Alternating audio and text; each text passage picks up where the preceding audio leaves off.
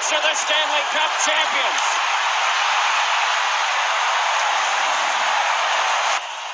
Scott Niedermayer, come on. He scores! Dustin Penner ends it in overtime, and the LA Kings are going. Bruins, they are Stanley Cup champions.